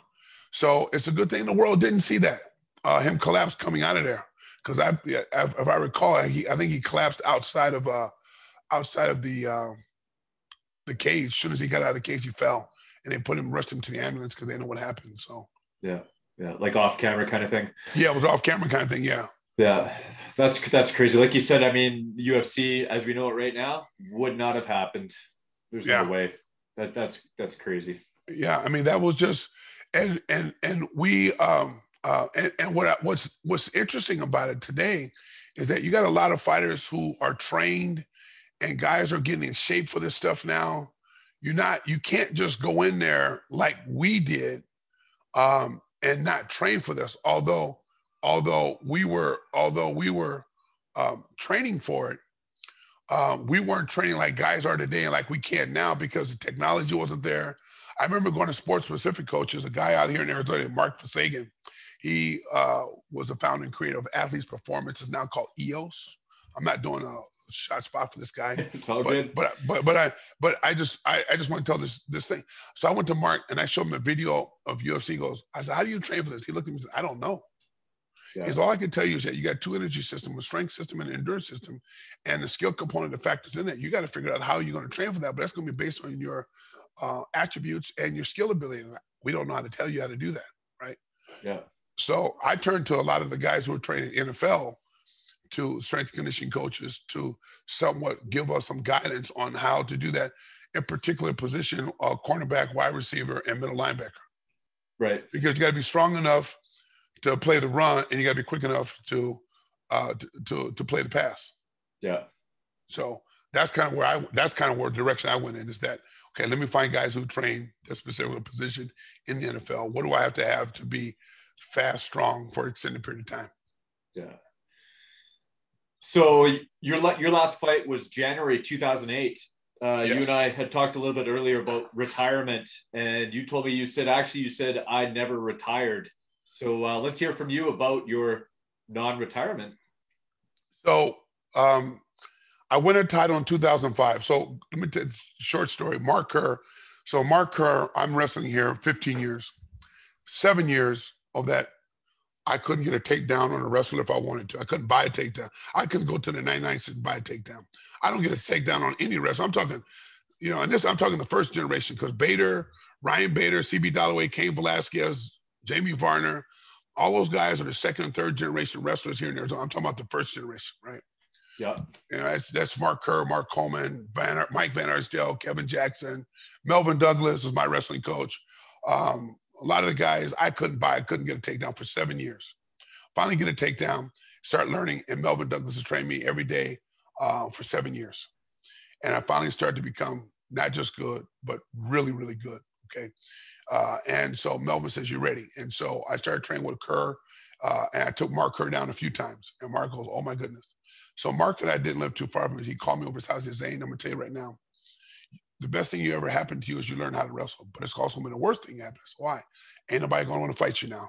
Because now you can punch, kick, and you can take people down. You can take people down.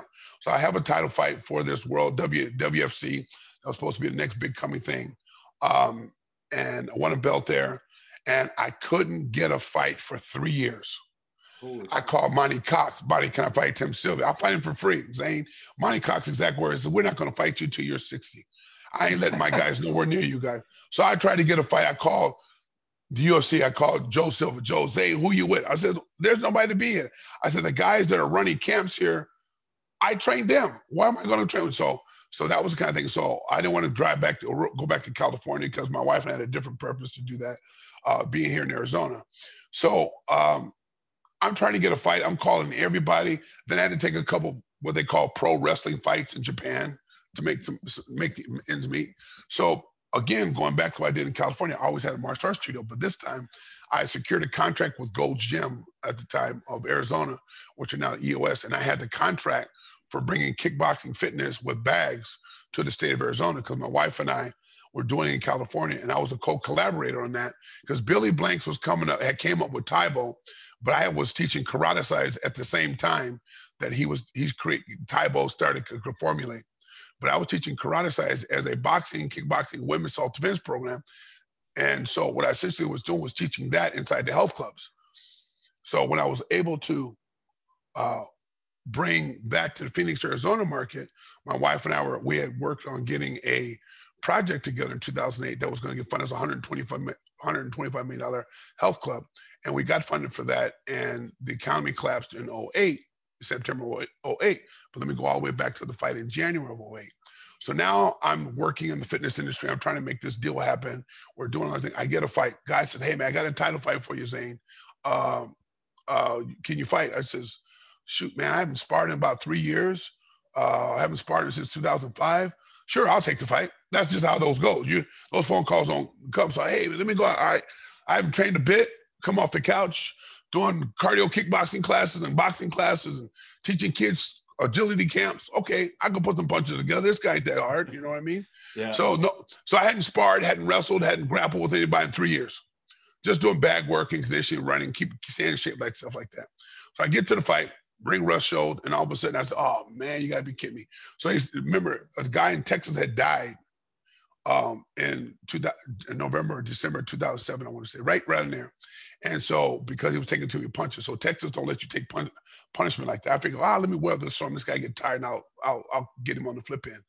And long for sure story, you know, they stopped the fight. So I said, oh man. So I said, all right, let me start training. So I started training in 2008. I go to a doctor's checkup, uh, routine checkup that I always go after my fight. And I had started to develop rhabdomyolysis. That was because the summer 2007, I tried to do this military style training, which is I was creating myself.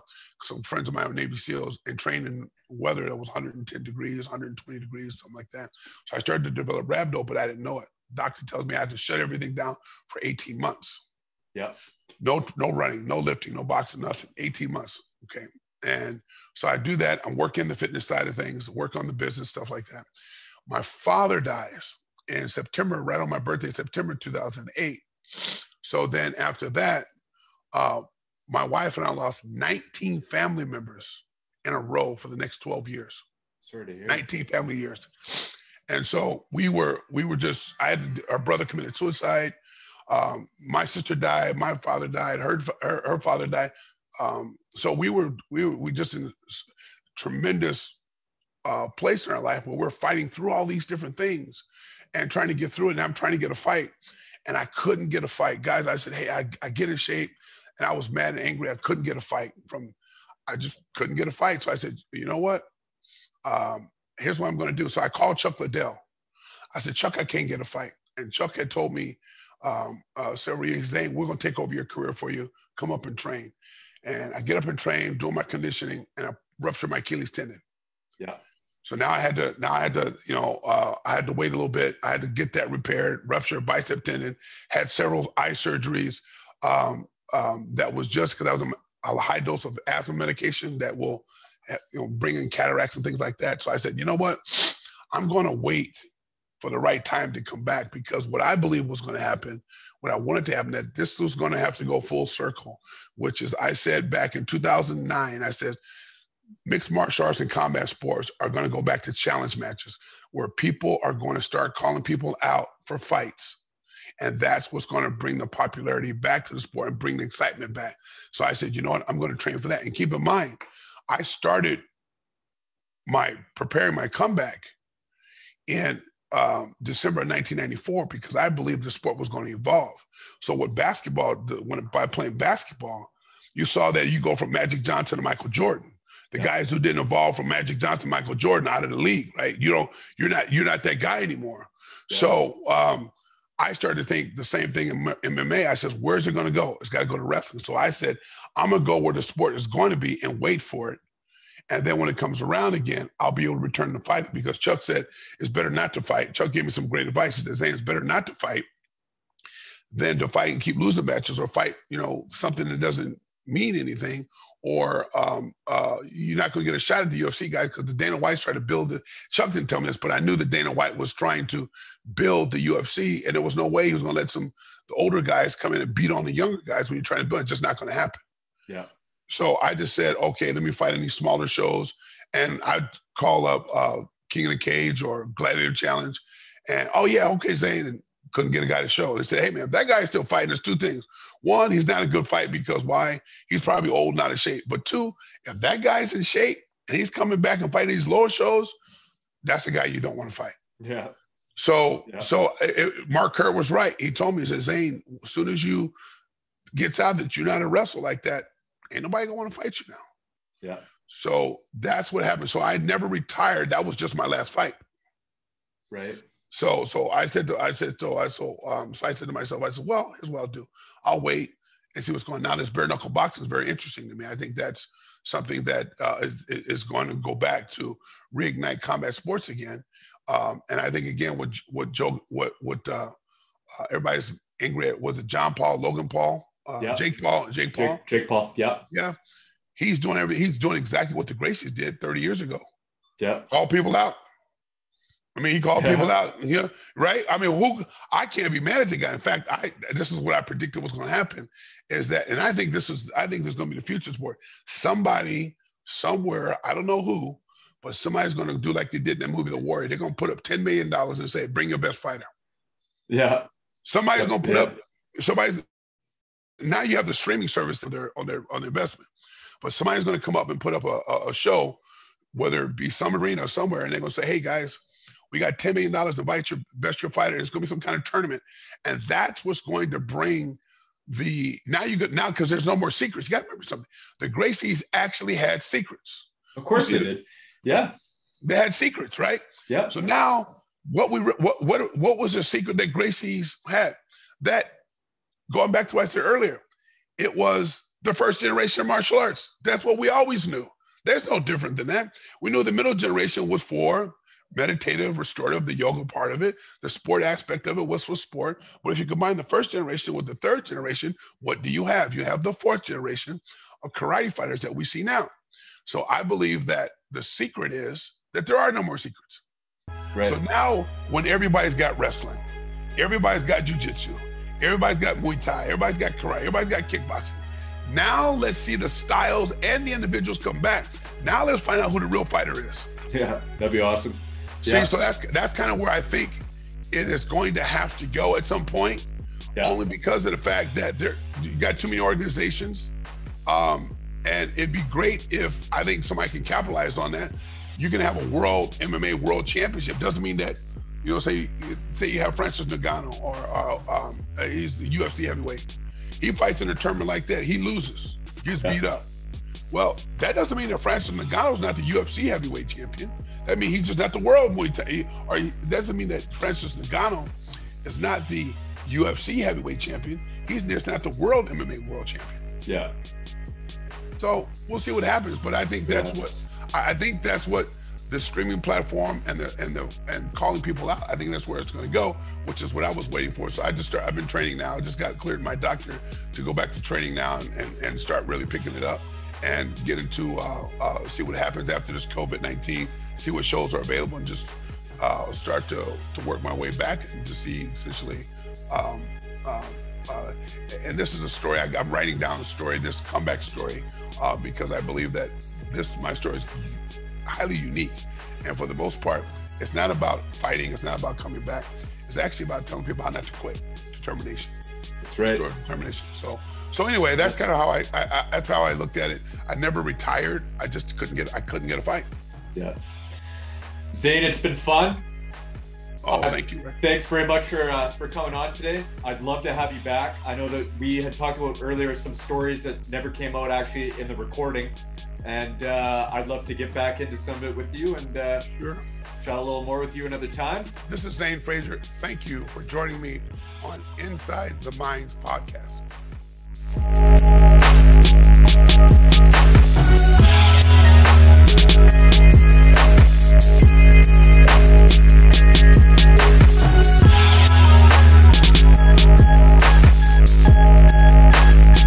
Thank you.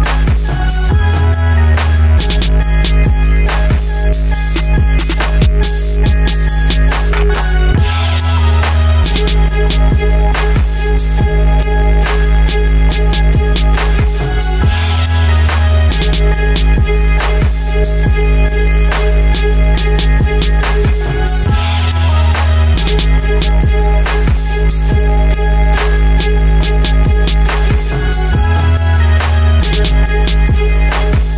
back. We'll be right back.